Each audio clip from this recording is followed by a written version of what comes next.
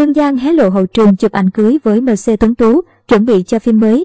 Nữ diễn viên Hương Giang và MC Tuấn Tú vào vai một cặp vợ chồng trẻ, kết hôn vội do bác sĩ bảo cưới trong bộ phim sắp lên sóng VTV. Mới đây, nữ diễn viên Hương Giang đăng tải đoạn clip hậu trường chụp ảnh cưới cùng chú thích, bác sĩ bảo cưới khiến khán giả tò mò. Trong đoạn clip, Hương Giang xinh đẹp, lộng lẫy trong bộ váy cưới, sánh đôi cùng cô là nam MC Tuấn Tú bảnh bao trong bộ vest đen. Cả hai liên tục tung hứng với những tình huống hài hước, vui tươi.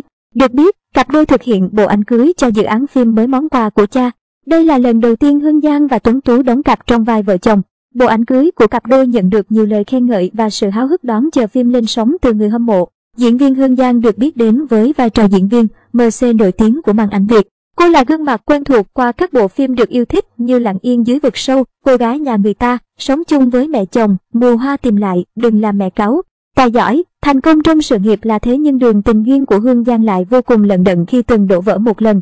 Cô cũng có mối tình đẹp 6 năm với nam diễn viên Đình Tú.